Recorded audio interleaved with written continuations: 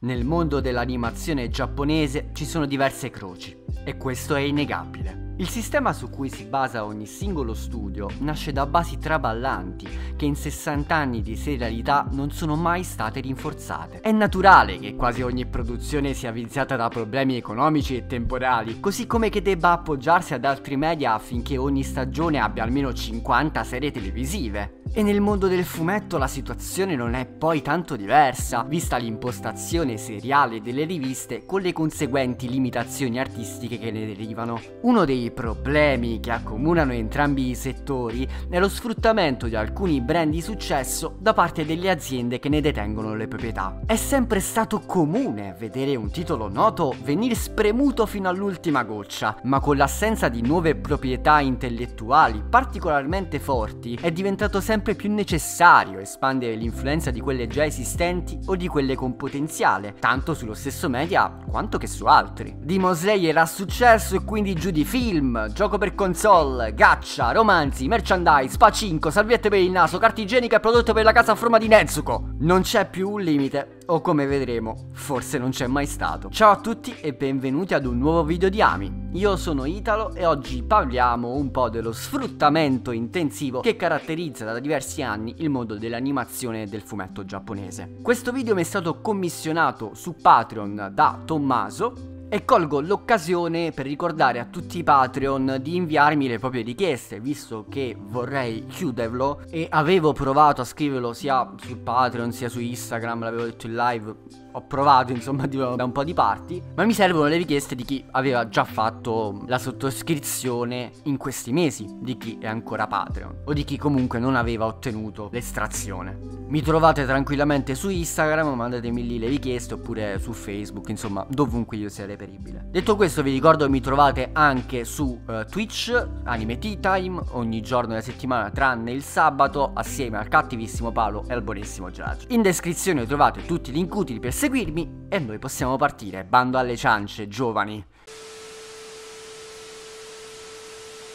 Il mio brand preferito in assoluto è quello di Gundam, che per puro caso è anche l'esempio perfetto di un'idea di successo trasformata col tempo in quello che voleva l'industria. La storica prima serie, Kido Senshi Gundam, narrava di un gruppo di giovani costretto a vivere una guerra sanguinosa, provando a rompere il concetto di serie animata come prodotto per bambini con una storia adulta costruita sulle basi dello sci-fi giapponese ed americano. Il mecha, visto prima come una divinità invincibile, diventava ora una vera e propria arma, usata dagli eserciti di entrambi gli schieramenti per tentare di vincere una guerra tra umani. Nella prima messa in onda, il contenuto della serie venne bellamente ignorato dal grande pubblico, che lo premiò con ascolti bassissimi e un numero di episodi tagliato da 50 a 39. A salvare il titolo dall'oblio e a determinarne il successo sono stati i modellini prodotti da Bandai, prima moda silenziosa e poi vero e proprio traino dell'intero franchise. I Gunpla sono stati strumentali alla formazione di un vero e proprio pubblico correlato agli anime, un embrione di quelli che oggi identifichiamo come otaku. E più di ogni altro elemento hanno portato Sunrise a finanziare negli anni un numero enorme di sequel, spin-off e serie indipendenti che oggi danno forma ad uno dei franchise più celebri e remunerativi dell'animazione giapponese. Sono tutti titoli di altissimo livello? Assolutamente no! Alcune, come Sid 00, sono abbastanza mediocri, altre, come Eijo ZZ, semplicemente brutte. Ed è una conseguenza dell'essere parte di un sistema in cui il nome conta tantissimo. Rispetto a lanciarsi alla cieca con un titolo nuovo di cui non puoi conoscere il futuro, rifarsi ad un brand conosciuto permette dei risultati quantomeno accettabili. E piuttosto che puntare al sold out, a volte è meglio cercare anche solo di rientrare cade nelle spese. C'è però da domandarsi quanto il pubblico sia ancora incline ad accettare di vedere l'ennesima riproposizione di una serie che guardava dieci anni fa, visto che oggi la gente sembra sempre indignarsi davanti ad operazioni simili. Per quel che mi riguarda, è solo un atteggiamento di facciata. Le cose non sono cambiate, la massa continua a lanciarsi a capofitto nella visione o nella lettura dell'ultimo titolo di un certo brand e a lamentarsi di come questo mondo non abbia più idee. Paradossalmente, però, un simile atteggiamento allontana ancora di più la possibilità che un titolo nuovo faccia parlare di sé. Non perché la cattiva pubblicità è comunque pubblicità e quindi parlare male di quelle cose oscura le altre. Il motivo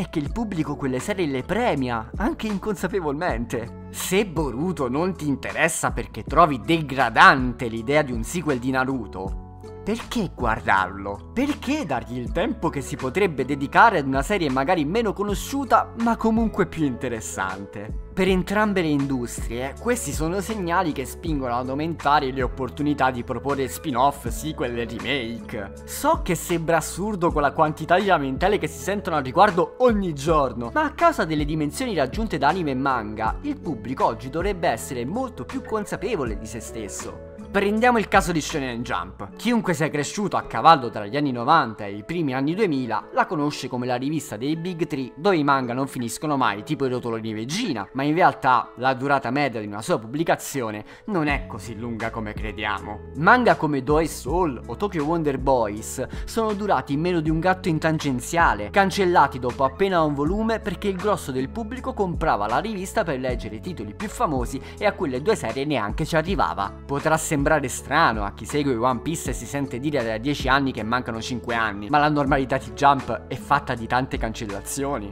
Il più recente Build King di Mitsutoshi Shimabukuro, che comunque è l'autore di Toriko, quindi ha già un nome all'interno della rivista, è stato cancellato dopo 3 volumi.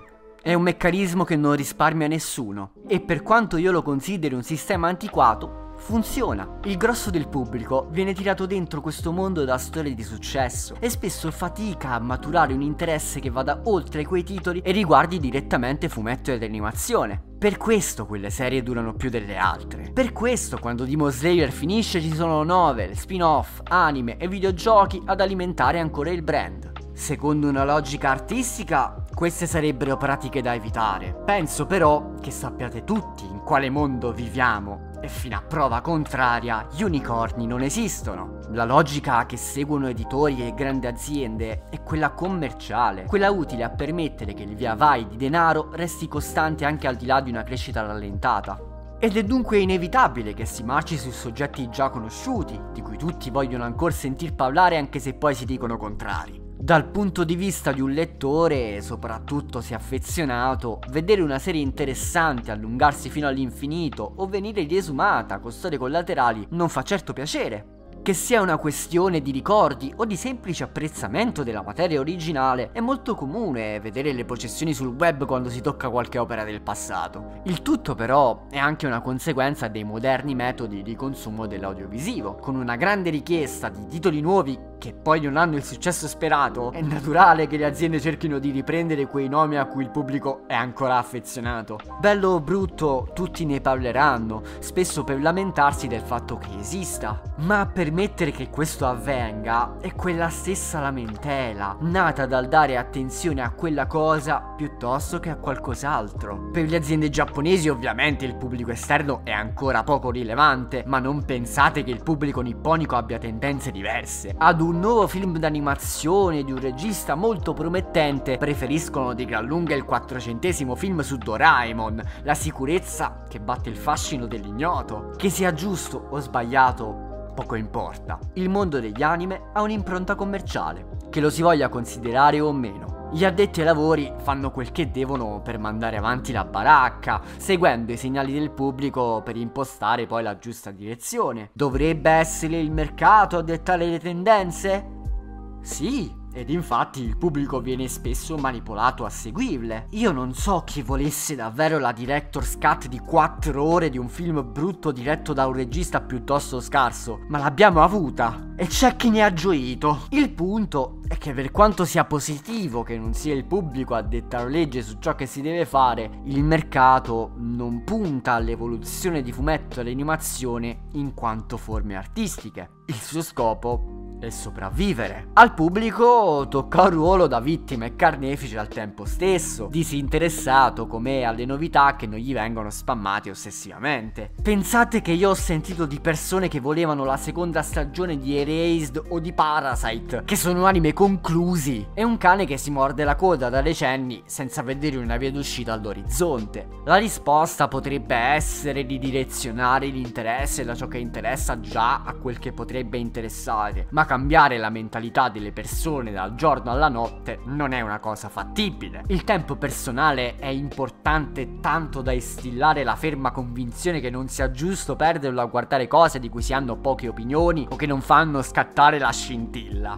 Mi sembra quindi superfluo andare a distribuire delle colpe, identificare i creatori di questo circolo infernale per condannarli fino alla fine e pontificare su giusto e sbagliato. È una situazione ovvia per il sistema in cui viviamo, ovvia per il modo in cui fruiamo dell'intrattenimento. C'è anche da dire che però la viviamo oggi, nel momento in cui le piattaforme streaming e il binge watching sono entrati nella vita quotidiana di ogni fascia d'età. È un periodo di costante evoluzione da cui ci si può aspettare di tutto. La community anime sta infatti crescendo con rapidità e con essa il numero di persone che si appassionano all'animazione giapponese. Potrebbe essere una questione di tempo, come anche no, ma sarà interessante poterne essere partecipi. Ok, è stato un discorso lungo, anche forse un po' complesso, ma spero che vi sia piaciuto e che sia piaciuto soprattutto a Tommaso, che abbia colto quello che appunto lui mi aveva chiesto e che ci abbia ragionato su in maniera quantomeno interessante. Ho già sproguato abbastanza, quindi non ho altro da aggiungere. Noi ci vediamo ad un prossimo appuntamento. Sto cercando di immagazzinare un po' di video così da avere un'estate piena di contenuti e vediamo se ci riesco. Nel frattempo, see you, Space Cowboys.